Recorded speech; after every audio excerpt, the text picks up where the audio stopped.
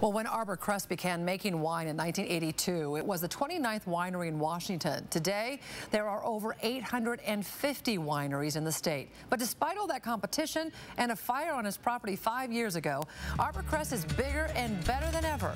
Derek Deis has the story in tonight's Made in the Northwest. High above Upriver Drive in Spokane Valley, it's hard to miss Arbor Crest Cliff House Estate.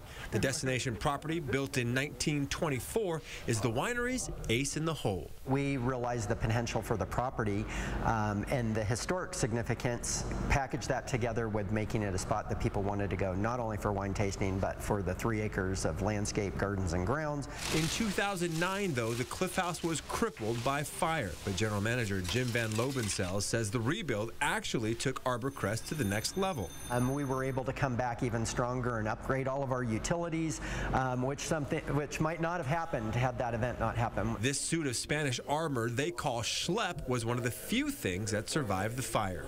He got all cleaned up and he hangs out on the third floor and kind of is the protector of the cliff house. And wine enthusiasts will tell you Arbor Crest wine is worth protecting. Its 19 different types of wine are shipped to about 25 different states.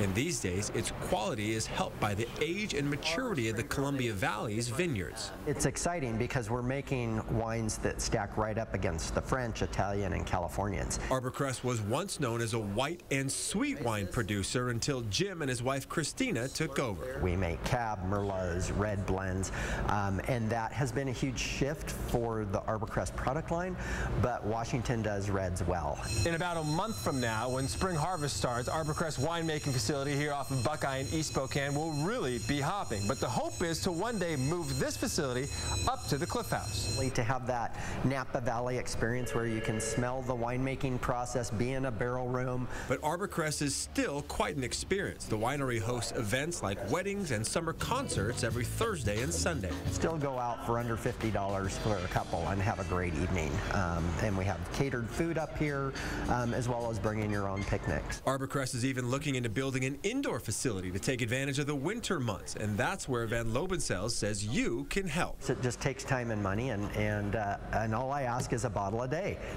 Cheers. For Made in the Northwest, I'm Derek Deis, KXLY 4 News.